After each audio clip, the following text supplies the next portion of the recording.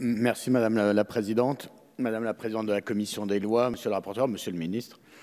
Ces deux propositions de chers collègues, ces deux propositions euh, de loi visent à clarifier certaines dispositions du Code électoral dont la cohérence a été altérée au fil des modifications et ces propositions reprennent en grande partie celles émises par euh, le Conseil constitutionnel. Nous sommes, euh, pour notre part, favorables à l'amélioration de la lisibilité du contrôle des comptes de campagne et des règles d'inéligibilité, comme à un meilleur encadrement de la propagande électorale et des opérations de vote. Nous sommes favorables également à la suppression de l'automaticité de la peine d'inéligibilité. Comme l'a souligné le Conseil constitutionnel, il existe aujourd'hui des différences de rédaction euh, qui sont peu pertinentes et peuvent prêter à confusion. Donc nous conviendrons avec euh, ensemble, je pense, qu'il est bon et juste que soit distinguée une erreur matérielle sans volonté de fraude d'une fraude manifeste qui doit, elle, conduire à l'inéligibilité.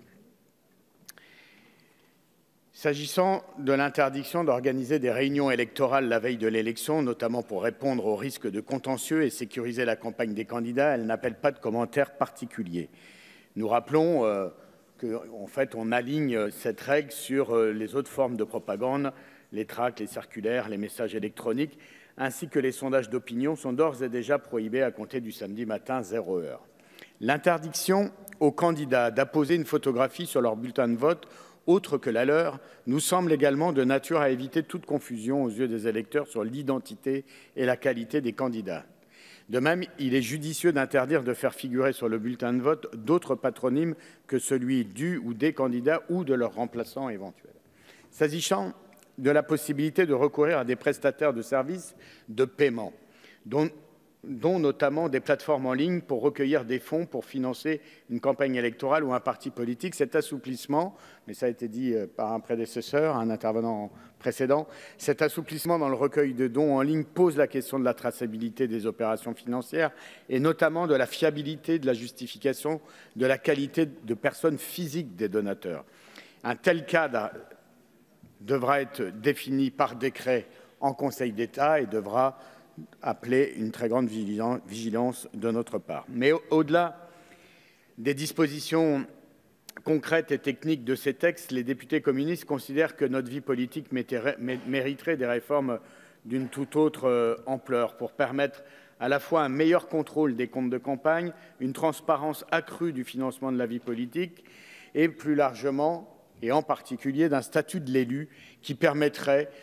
aux représentations, à la représentation nationale, mais aussi aux représentations locales, d'avoir euh, une sociologie plus diversifiée et plus conforme à la réalité sociale de la France. Sur le contrôle, en l'état actuel du droit, la Commission nationale des comptes de campagne et des financements politiques ne dispose pas des moyens juridiques, techniques et humains et de pouvoirs d'investigation suffisants, notamment pour déceler d'éventuelles manipulations comptables. C'est ce que relevait notamment le rapport pour avis établi au nom de la Commission des lois sur le projet de loi de finances pour 2019 de notre collègue Olivier Marlex.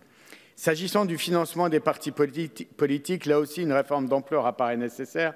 comme le souligne l'économiste Julia Cagé, je la cite, elle, dit En France, aujourd'hui, le financement public de la démocratie souffre de deux défauts majeurs. D'une part, il est profondément inégalitaire et d'autre part, c'est un système figé, immobile, peu adapté aux réalités de la démocratie du XXIe siècle. Un système qui ne répond pas aux aspirations participatives d'un nombre croissant de citoyens. Un système obsolète donc, car freinant l'émergence de nouvelles forces politiques, à moins que celles-ci et on l'a vu dans un récent passé, à moins que celles-ci ne se tournent dès leur création vers des puissances financières privées, pesant par définition sur les choix politiques ainsi soutenus. Quant au statut de l'élu que j'évoquais à l'instant, dans une loi qui viendra prochainement en discussion, les députés communistes auront l'occasion de faire des propositions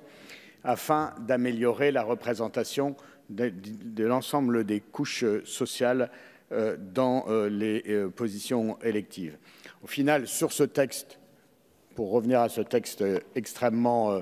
euh, technique et circonstancié, nous voterons euh, favorablement.